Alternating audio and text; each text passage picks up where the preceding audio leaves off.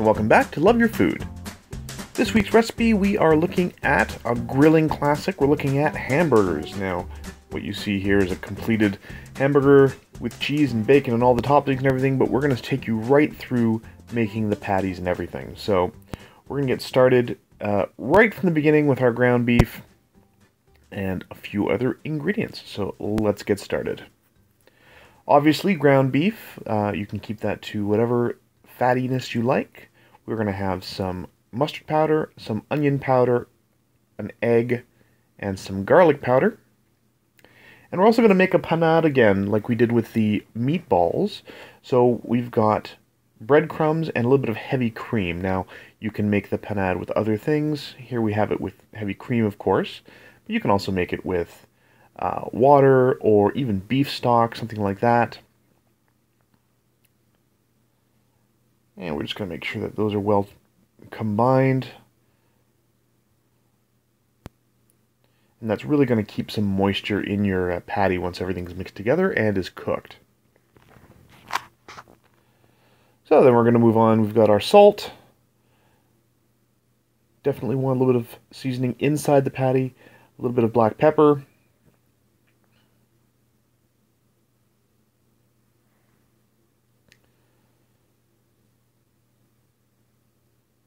And then we're going to add all of our other seasonings in here as well. We're going to make sure that's mixed together. And in goes the beef. And the egg. Now the egg, of course, is going to also work to hold everything together so that you don't have to overwork the meat in order to form your patties. And really, this is easiest with your hands.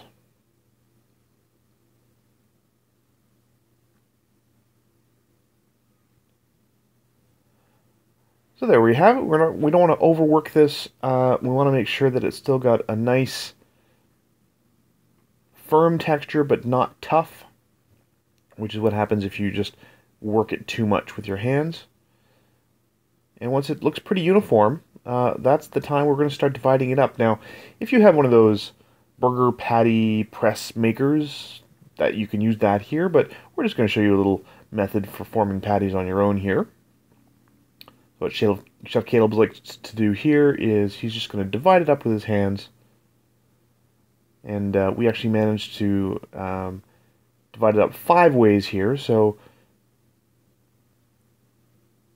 two larger chunks and then one smaller chunk. And don't be afraid to take some pieces from the bigger ones to feed the smaller ones if they're not quite the same size. So if you have one that's obviously bigger, feel free to just pull a little bit off that one and stick it to one that's smaller. And then you're just going to give those a little flatten. So, again, you want to give it a little press. They don't have to be perfectly round. But you do want to make sure that they are thin enough that they'll cook all the way through quite easily thick enough that they'll still have a little bit of bite to them once they're finished. And that's really all you have to do. You don't need to do anything fancy to them. Um, you don't need to. They don't need to be perfectly round. They don't need to have sharp edges or anything like that. Um, at this point, if you still see one is bigger than the others, you can still do a little bit of moving around. just like that. If you have anything sticking out of the edges, you certainly want to smooth that in. But other than that, that's pretty much our, our patties. So we're just going to give that a little sprinkling of salt.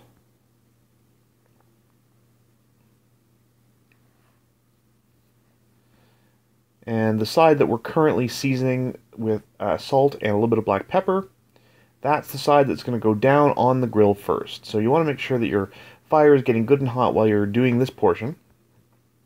If you have a gas grill, of course, you can turn it on as you like. You're going to carefully move them on to the hot grill. And again, pretty easy with your hands. You can use a spatula for this as well, as long as it's heat resistant and not going to stick to your grill.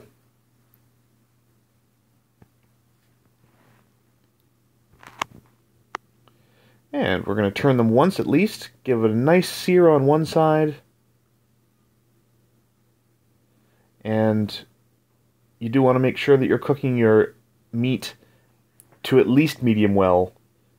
Um, well, to medium at least.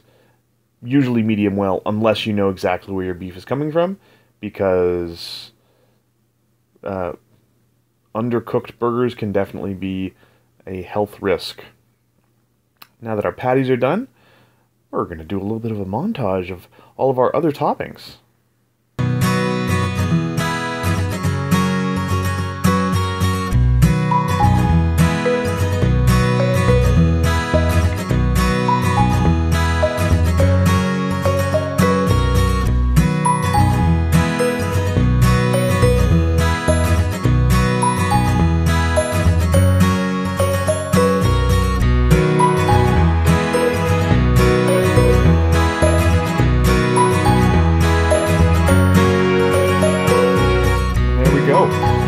It all together after that.